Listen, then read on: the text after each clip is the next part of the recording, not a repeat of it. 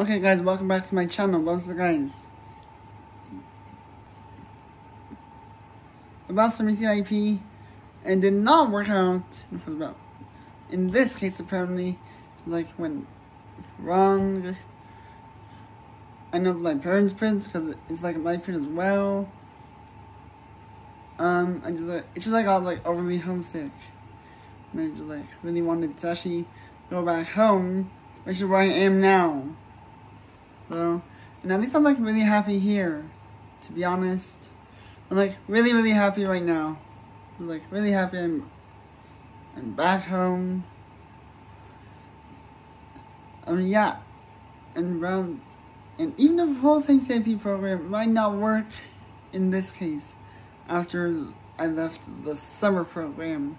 So like being overly homesick. Anyways, I want to like hope it goes better next year. But thanks for watching this video. Give give this video a like, hit that subscribe button, leave a comment if you want me to make like a certain type of video. See you next time.